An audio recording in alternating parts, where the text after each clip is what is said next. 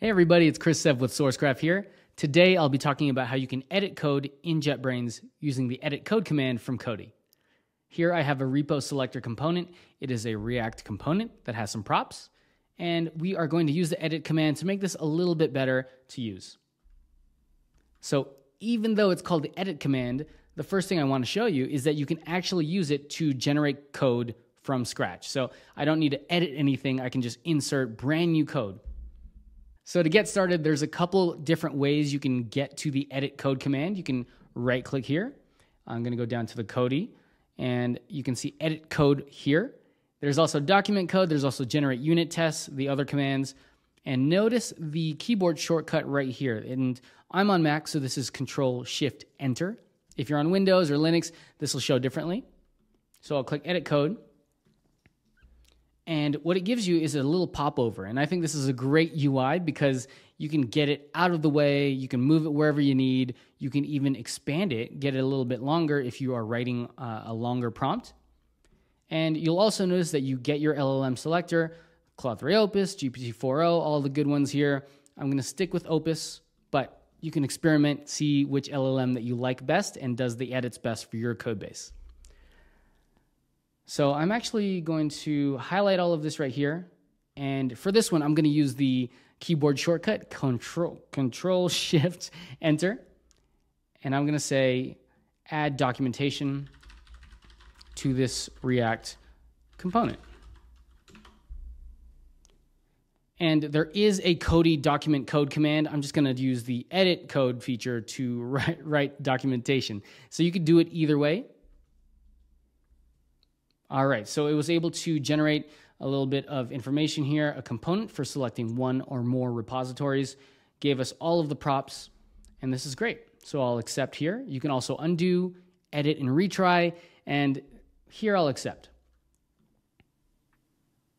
All right, so this is cool if you're in a JavaScript file, but we're in TypeScript, so we should be able to just use props, right? Type props.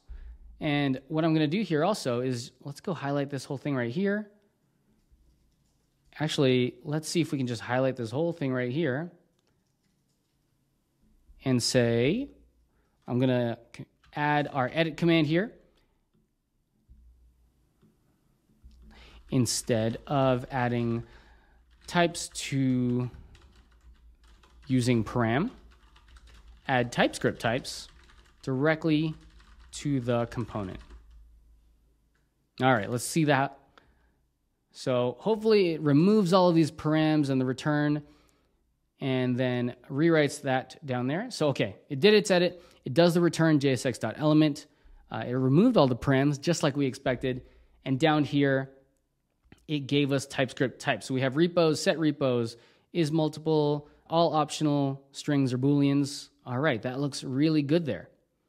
And it was able to discern what the type was from the prepared value here, the default value.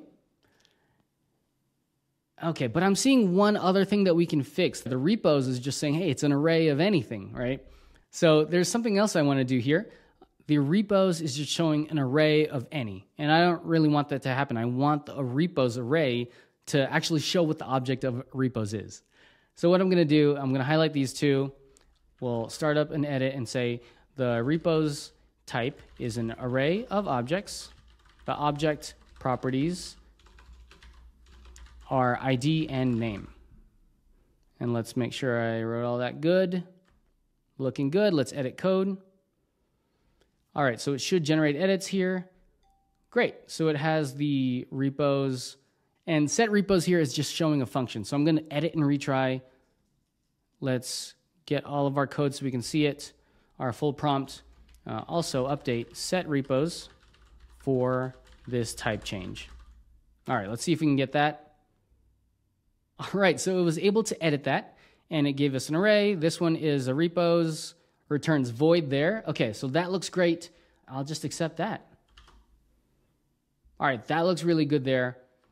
Let's do one more edit just to close out this video. And you can start to see how as you work through your code, and I know these are like smaller changes, but as you start to work through your code, instead of like working through and editing it yourself, just highlight the code, say what you want to happen, and Cody will go ahead and do those edits for you.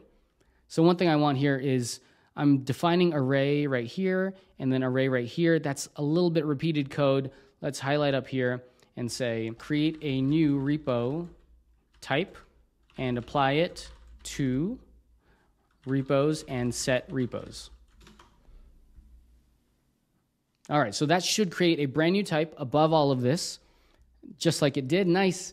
So we have a repo as an object of ID string, name string. Down here, repo, an array of repos, and then the function is updated as well. Fantastic. And actually, I'll probably move this, I'll accept, and I'll move this above the doc block there. Perfect. All right, so just like that, we're starting to use the edit command to make our code a little bit cleaner, a little bit better, and you can start to use this in larger scenarios. Let's say you wanted to highlight this repos.map and say, oh, change out a property or change out a button for a div. I don't know why you do that, but the edit command lets you do any of those things all by writing a prompt to Cody.